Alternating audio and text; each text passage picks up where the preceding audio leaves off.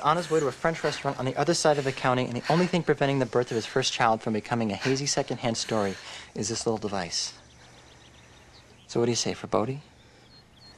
All right. But I want final cut. Deal. Bessie, I've got someone to help you. Please don't tell me you've done what I think you've done. Conflict, perfect. How far apart are the contractions? Joey, What? She's a nurse. She can help. she's also borderline racist who hates everything about me and my boyfriend and our unborn child. Is everything okay? Just having an impromptu home birth. Nothing to be concerned about. Really? Because I've got a few concerns. Girls, move that coffee table out of the way. Pulse is strong. Temperature's fine. Okay, girls, we're going to move Bessie over into this chair over here. Okay. Gently does it. Easy, easy, easy. That's it. That's oh, it. Mm, That's it. That's it.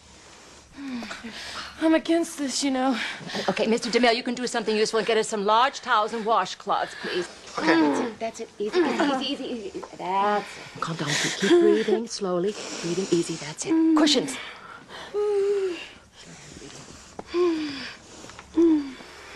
Thank you, Josephine. It's Joey, actually. No, it's Judas, actually. Okay. Okay, now as for you, I'm going to make you a deal.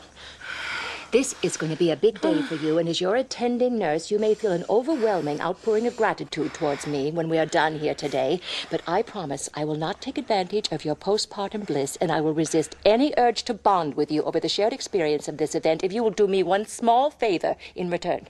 What's that? Shut up. Now, where are those towels?